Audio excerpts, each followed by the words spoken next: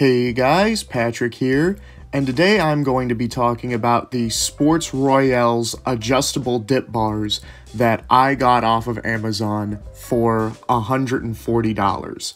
Now, what these are are just dip bars for you to use at home, uh, but like it says in the name, these are adjustable, so you can actually change the height as well as the angles because these are not, um, you know, connected together in any way. They are two separate bars that, um, you know, stand parallel to each other, but you can uh, change the angle slightly if you want it to be uh, not just straight with each other, but if you wanted to uh, make it more of a sort of triangular shape in order to emphasize your pecs over your triceps more, uh, you could definitely do that with this product.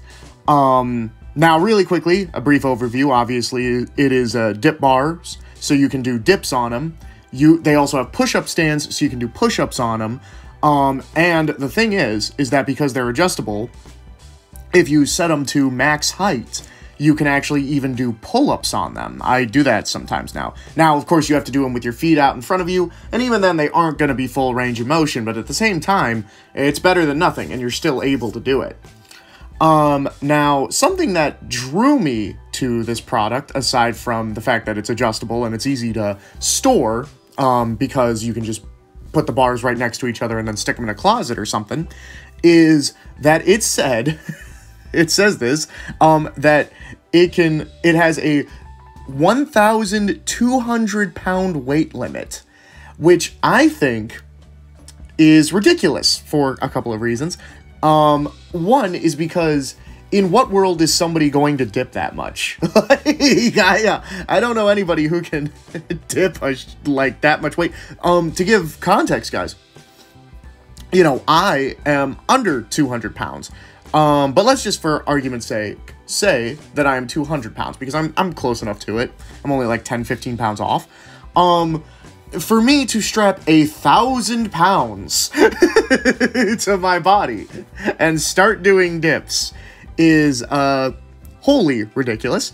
Um, but that being said, I have uh, I do do weighted dips. They are a regular part of my routine, and honestly, probably one of my favorite exercises.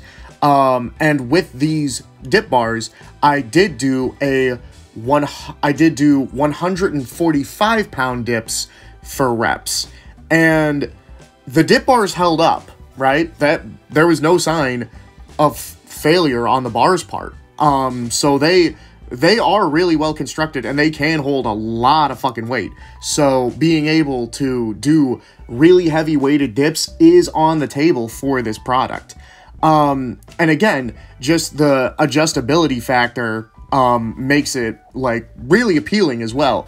Um, so really, guys, I would very much recommend this product if you're into calisthenics and especially weighted calisthenics and you want a way to do them from home. I would especially recommend this product be, uh, because it, it's it is really thick. It is really well constructed.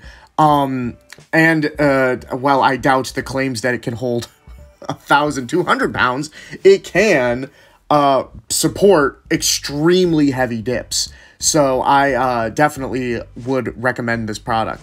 And, um, you know, I was able to do uh, 70 pound pull ups as well by doing the uh, pull up method that we talked about by strapping a 60 pound weight vest and a 10 pound weight uh, belt to my body and doing pull-ups the way that we discussed before and it held up during that too so again if you're look if you're in the uh if you're looking on the lookout for something uh for calisthenics, but especially weighted calisthenics, I really do think that this product is uh, worth investing into.